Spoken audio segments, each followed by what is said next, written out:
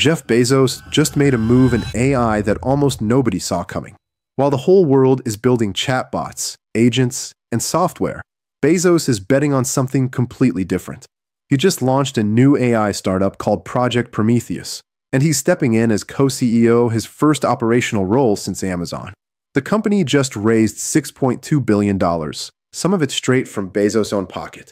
But here's the part everyone is missing Prometheus isn't building consumer AI, it's building AI for engineering and manufacturing computers, rockets, cars, physical products, the stuff the world runs on.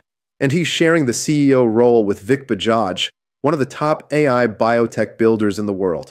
They already have nearly 100 researchers from Meta, OpenAI, and DeepMind. So while everyone else is chasing consumer apps, Bezos is betting that the biggest AI opportunity isn't digital at all. It's physical. If you want to have an unfair advantage in the AI race, comment the word 10x, and we'll send you our weekly newsletter.